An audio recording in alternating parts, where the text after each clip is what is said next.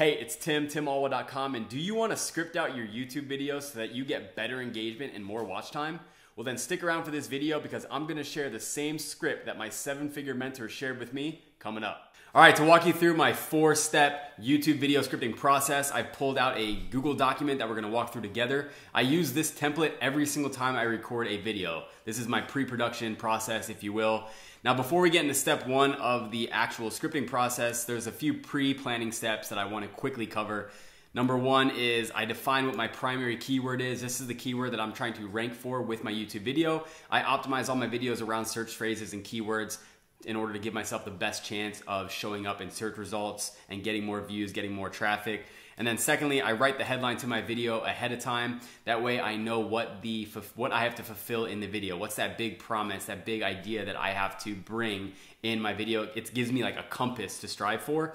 It also is for congruence so that I know the headline uh, that I say in the first five or 10 seconds of my video matches a lot of the times the title that I use for my videos. So now that we got that house cleaning out of the way, or is it housekeeping? I don't know.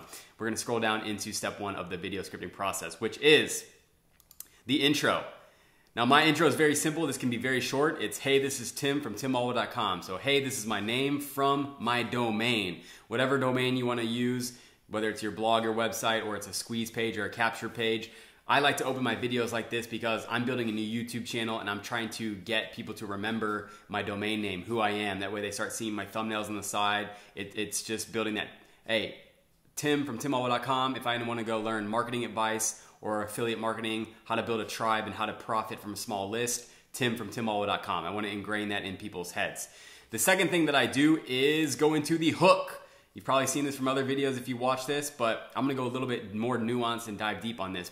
The hook is the promise of value. It's what you're promising to deliver in the video. It's like the big problem that they're facing or the big desired outcome that your viewer wants to achieve. And there's a few different ways that you can dialogue this in your video. And I wrote a few different examples out. For example, number one, you could say, in this video, I'm gonna show you, and you either talk about what the desired outcome is, what the transformational result, if you have a, it's a case study, what the results of that case study was, or whatever that main pain point that you're trying to solve. So in this video, I'm gonna show you dot, dot, dot, or another way to phrase it, by the end of this video, you'll know how to. This is called future pacing. You are telling them ahead of time, this is the kind of result that you can expect after if you finish this video and you watch it to the end. Number three, in this video, you'll discover how to, classic headline formula right there, and you fill in the blank, right? Now, one of my favorite hooks to use, it's a copywriting framework. Now, I haven't mentioned this on the channel before, but I am a full-time copywriter at a marketing agency. So I work on with clients all the time, scripting their videos, writing emails, Facebook ads, web copy, all types of copy. And this is my number one go-to copywriting framework. It's called Problem, Agitate, Solution. This is where you lead with a problem. And in this example template I have, this video was for how to do I have to be an expert to enter a niche? So that's the example that we're using for. So what I do is that is the topic of the video. Do I have to be an expert to enter a niche? But what is like what's the problem behind that? You have to think about it for a little bit. Maybe go do some research. Like what's the underlying problem that people are having with that with that? What it, how, and how can we agitate it? So I write out a little bit of an intro here in my document. Do you have to be an expert to enter a niche? Maybe you feel like a fraud. Maybe you're suffering from imposter syndrome. What va- maybe you're thinking, what value can you offer that someone else hasn't already covered? Why would anyone listen to you, right? So I started with the topic.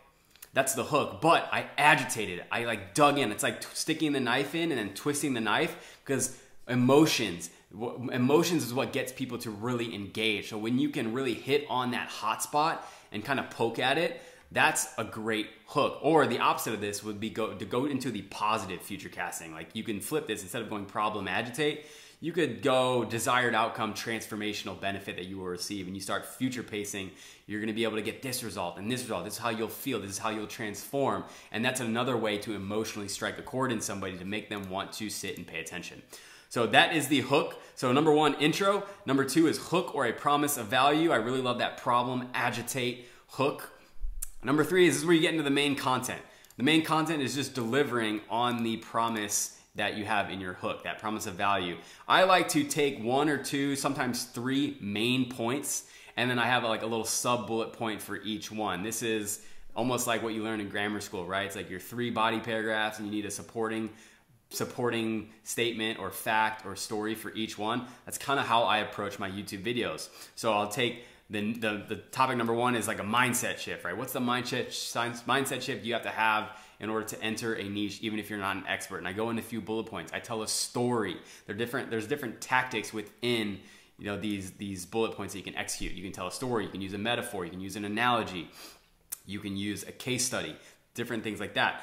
Then I go into point number two and I repeat. I go my sub bullet points. Then I go into point number three. Now it is important to mention that I do not read a script.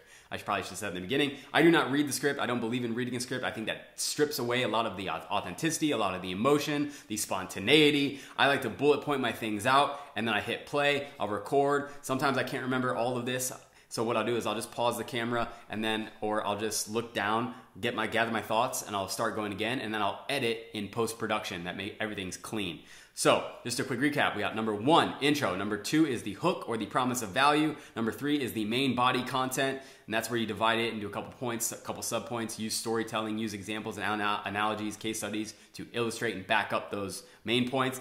Number four, this is the conclusion. This is the outro right? Now, there's a primary call to action and a secondary call to action. Let me explain what the difference is. A primary call to action is really what you ideally want them to do, the main thing. Ideally, this would be to join some kind of email list, maybe it's to subscribe to your channel. It's creating that asset so that you can follow up with them at a later date. I recommend that driving to a capture page or a landing page where you can collect an email address and give something away for value in exchange is which should be your primary call to action in most cases. Your secondary call to action can be something of less importance, something like subscribe or leave a comment or like the video.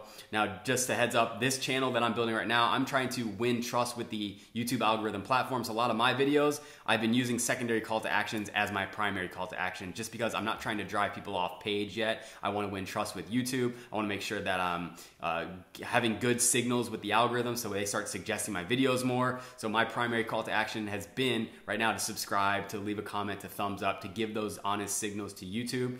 And then, but as I create more and more videos, I will start to have more primary call to actions around uh, go to this website, go to my website, squeeze page, landing page, etc. You know, in the very beginning of my videos, I do say, hey, this is Tim from timalwell.com. So I do call out my domain in case someone wants to go visit it out. But that's how you would end. You'd end some kind of uh, strong conclusion, strong outro, have them do some, take come some time to action, and that is how you script a video. This is directly from a seven figure mentor of mine he showed me that script and I've sprinkled on some of my own uniqueness on top of this, but that is a winning formula for creating YouTube videos that get results. Go ahead and use it. Let me know if you plan on using the script. What was your favorite part about this breakdown? And if you like the video, I would really appreciate a subscribe. If you, I do three videos a week, so if you want to be notified when the next one comes out, give me a little subscribe, give me a little comment, shout out, and I'll see you guys in the next video. Thanks for watching.